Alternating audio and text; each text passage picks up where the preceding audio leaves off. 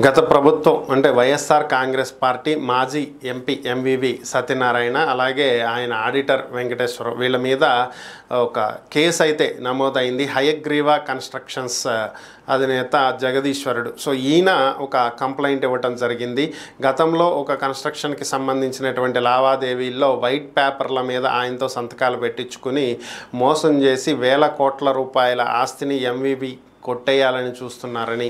కాబట్టి దీని మీద వెంటనే చర్యలు తీసుకుని తన ఆస్తుల్ని కాపాడాల్సిందిగా ఆయన కంప్లైంట్ ఇవ్వడం జరిగింది. ఈ కంప్లైంట్ని ఆధారంగా చేసుకుని ఎంవివి సత్యనారాయణ మీద నాన్ బెయిలబుల్ కేసులు సెక్షన్లు పెట్టడం జరిగింది. సో దీనికి సంబంధించి తనకు ముందస్తు బెయిల్ కావాలని తన మీద ఉన్నటువంటి కేసుని కొట్టేయాలంటూ ఎంవివి సత్యనారాయణ ఏపీ హైకోర్టుని ఆశ్రయించడం జరిగింది. క్వాష్ పిటిషన్ వేయడం జరిగింది కేసు కొట్టేయాలని. సో మరి ఇది ఏం జరుగుతుందనేది వేచి చూడాలి. ఎందుకంటే ఈ అంశం కోర్టులో ఉంది కాబట్టి కోర్టు తేల్చాల్సి ఉన్నటువంటి నేపథ్యంలో న్యాయస్థానం మీదే ఏ నిర్ణయం తీసుకుంటారనేది ఆధారపడింది.